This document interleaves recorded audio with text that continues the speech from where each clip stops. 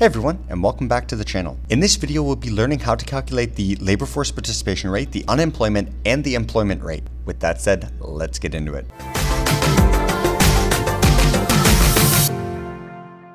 What better data to use than the actual data from the labor force survey collected by Statistics Canada and released to us December 2nd, 2022. So the key information that we're looking at is the population, labor force, employment, and unemployment rows.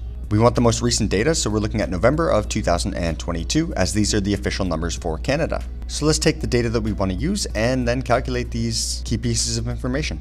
So now I've collected all of my data for November of 2022. Now the population, it's worth noting, is the population age 15 plus. This is known as the working age population in Canada.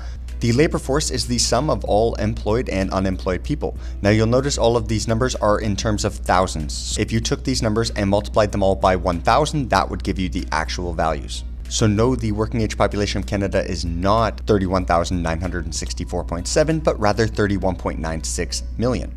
Just thought I'd mention that, in case any of you thought that Canada was just an abnormally small country. So the three rates that we're calculating today are the unemployment rate, the labor force participation rate, and the employment rate. Now, these are the three rates that you will be expected to calculate in an introductory macroeconomics course.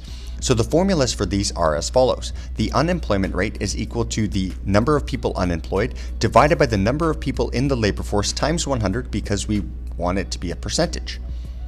The labor force participation rate is equal to the number of people in the labor force divided by the total working age population times 100. Again, we want a percentage. And then finally, the employment rate is the number of people employed divided by the working age population.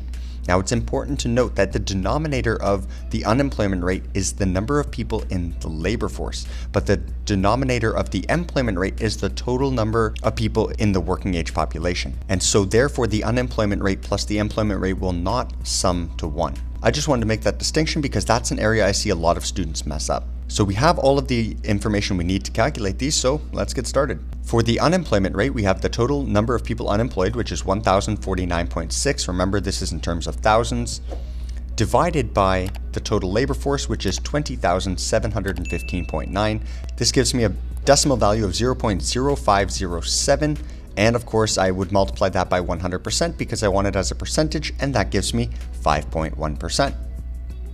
For the labor force participation rate, I have my labor force, which is 20,715.9, divided by the total working age population, which is 31,964.7. This is going to give me a decimal value of 0.6481, which multiplied by 100 to turn it into a percentage is going to give me 64.8%. Finally, we have the employment rate, which remember is the number of people employed divided by the working age population, that gives me 19,666.3 divided by 31,964.7. That gives me a decimal value of 0.6153, and of course multiplying by 100 to get myself a percentage, 61.5%. Now going back and checking the labor force survey data, all three of these rates that you calculated perfectly match the rates determined by the Statistics Canada, and there you have it. It's as simple as that. Once again, remember that the denominator for the unemployment rate is not the same as the denominator for the employment rate. Again, that's the biggest mistake that students make when calculating these rates, and therefore the unemployment rate and the employment rate do not sum to 100%, as you can clearly see. In the future, we plan on making a video where you're given the employment rate, the labor force participation rate, or the unemployment rate, and then required to reverse engineer those to give yourself the key pieces of information that is the working age population, the labor force, the number of people employed and unemployed. So let us know in the comments section if that's something you're interested in and we can prioritize making a video like that. If you found this video helpful, let us know by liking the video, subscribing to the channel, and of course, let us know in the comments section what type of economic videos you'd like to see us cover in the future.